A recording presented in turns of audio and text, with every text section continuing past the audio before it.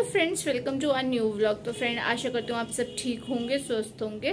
तो फ्रेंड, जैसे मैं पिछले व्लॉग में आपको बता ही दिया था कि हमारे लकड़ी का काम भी होना है और सफेदी जो बच गई थी मतलब आधे आधे कमरों में तो हो गई थी, आधे कमरे रह गए थे तो वहाँ बस अब वही है, सफेदी हो रही है। तो यहाँ पे तो करा चुके थे हम पहले, पर ये हुआ वो सीलन आ गई थी यहाँ पे तो वही है, अब यहाँ पे तो थोड़ी सी रिपेयरिंग ही करा रहे हैं हम लोग। और यहाँ किचन में दिखा देती हूँ एक बार। किचन में ना ये जो एरिया है ऊपर, आपको अलमारी के ऊपर जो ये दिखाई दे रहा है ना, इसके ऊपर भी हमें कबर्ड ही बनवानी है, क्योंकि ऊपर ना ये जैसे खाना वगैरह बनाते हैं तो वो तेल वगैरह हो जाता है ऊपर तो शेल्फ पे तो अब इसे बंद ही करा देंगे इस एरिया को, जिससे काफ़ी सामान हमारा ऊपर आ जाए। और आज मंदिर भी हमारा किचन में रखा है, क्योंकि मंदिर का एरिया ही है हमारे यहाँ, जहाँ सीलन आई थी तो वही है। आज तो बस ये ऐसे ही रहेगा, मंदिर आज यहीं रहेगा, क्योंकि कल होएगा, इससे तो फाइनल कल करेंगे। क्योंकि अभी इस पर डॉक्टर फिक्स लगवाया हुआ है हमने, ताकि सीलन ना आए अब दोबारा जल्दी। और आज देखो, मौसम भी कितना ठंडा ठंडा सा हो रखा है, बहुत हवा हवा चल रही है। एक तो खटपट खटपट बहुत है यहाँ पे हो रही, लोगों ने काम लगा रखे हैं। और इस साइड भी देख लो। इस साइड में हमारी सीलन सीलन सी आ रखी थी। बहुत ज़्यादा हवाई हवा चल रही है हमारे यहाँ। तो यहाँ पे आप देख सकते हैं, हमने सारा सामान मतलब शिफ्ट करके दूसरे रूम का मतलब इस रूम से शिफ्ट करके उस साइड रख दिया ताकि पेंटर जो है उससे आसानी हो जाए करने में पेंट पर देखते हैं कितने दिन में हमारा पेंट का काम ख़त्म होता है। बाहर की साइड भी ख़राब हो रहा था तो इस साइड भी हमने वो ये डॉक्टर फिक्सिट लगा के अभी उन्होंने सेट करा है थोड़ा। अब वो ये पुट्टी वगैरह कल भरी जाएगी इसमें।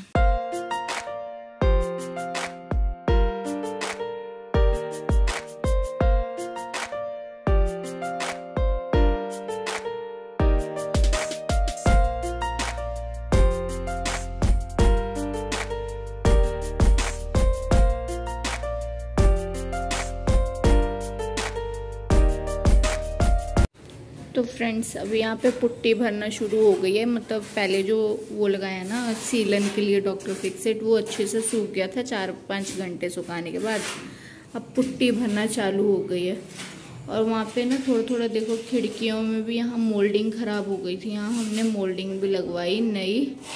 क्योंकि बारिश का पानी इस खिड़की से ना अंदर आता था तो ख़राब हो गई थी तो वो भी रिपेयर हुई हमारी अभी। और बाकी पेंटर का तो काम चल ही रहा है।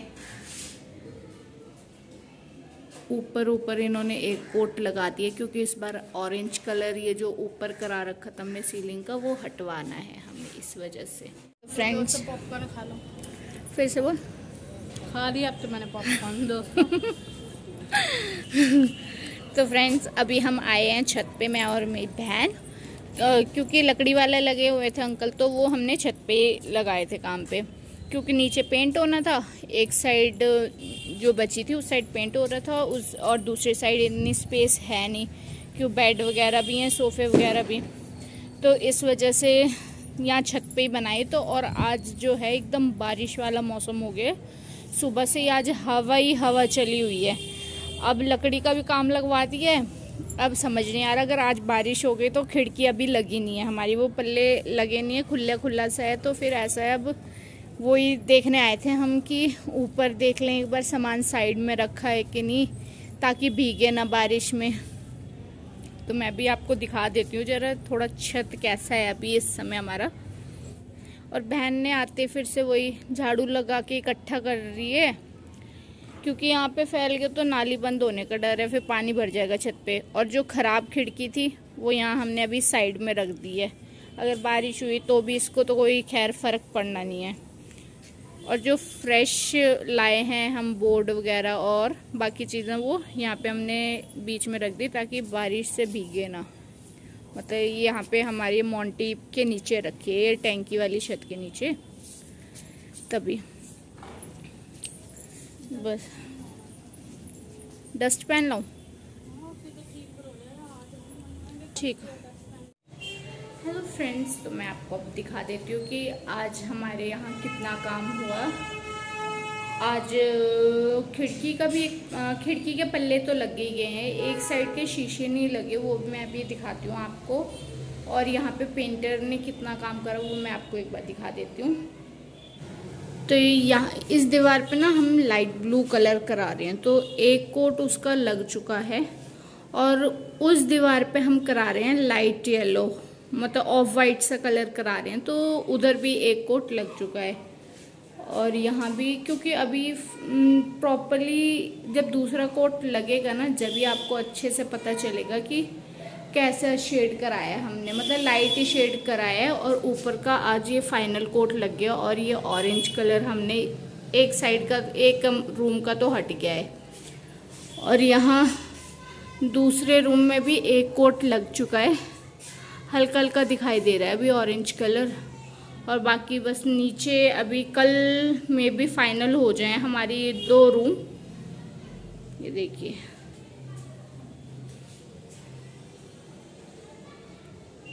बस वही आज थोड़ा साफ़ सफ़ाई करते हैं इस रूम की। ये देखिए, ये लग चुके हैं। एक साइड तो शीशा लग चुका है और इस साइड अभी लगा नहीं, इसका पर पल्ला लगा दिया है।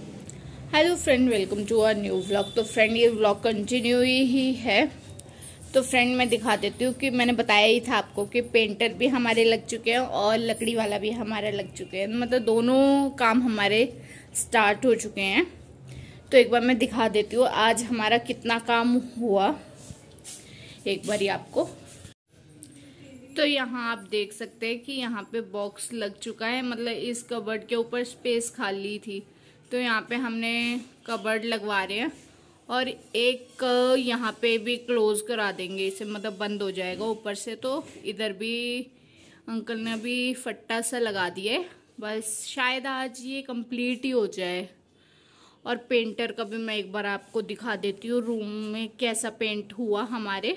मतलब इस वाली, ये जो टीवी वाली वॉल है, इस पे तो हमने ब्लू कराया है और ये वाली है एसी वाली वॉल हमारी इस पे हुआ है ऑफ़ वाइट तो ये दोनों कॉम्बिनेशन जो है, बहुत ही अच्छे लग रहे हैं। कल देखा था तो लाइट कलर आ रहा था, पर अब अच्छा लग रहा है। मतलब हमने थोड़ा सा कलर ऐड कराया ताकि ज़्यादा अच्छा है मतलब प्यारा लग रहा है कलर और ऊपर छत मैं दिखा देती हूँ। एक बार छत हमने वाइट ही रखी है तो सारी चीज़ें सही जा रही है कॉम्बिनेशन एक बार कमेंट करके बताना कि आपको हमारा ये कलर कॉम्बिनेशन कैसा लगा? ये सिर्फ़ हम एक ही रूम में करवा रहे हैं, दूसरे रूम में तो ऑफ़ वाइट ही कराएँगे बस। और अच्छा लगता है, बुरा लगता है, वो एक बार बताना आप कमेंट में।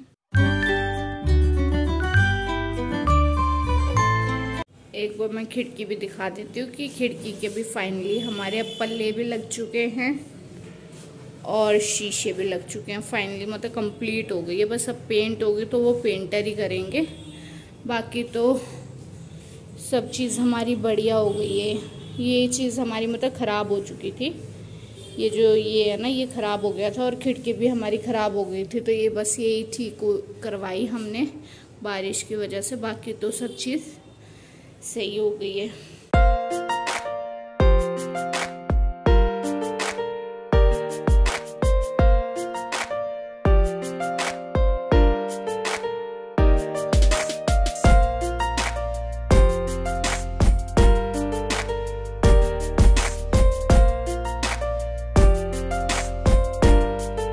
तो फ्रेंड यहाँ पे फ्रेम हमारी कबर्ड की तैयार हो चुकी है। बस कल इसके गेट भी लग जाएँगे और हमारी ये मे भी तैयार भी हो जाए कबर्ड और पता है, हमने ना नीचे जो ये कबर्ड है हमारी शेल्फ के नीचे, इसके नीचे भी हम पार्टीशन करके एक शेल्फ डलवा रहे थे। पर हुआ ये, जब हम दीवार में ड्रिल कराना तो यहाँ पे पाइप थी और वो फट गई एकदम। हमें पता नहीं था तो फिर हमें प्लम्बर भैया को बुलाना पड़ा। बस अब वो वही रिपेयर कर रहे हैं।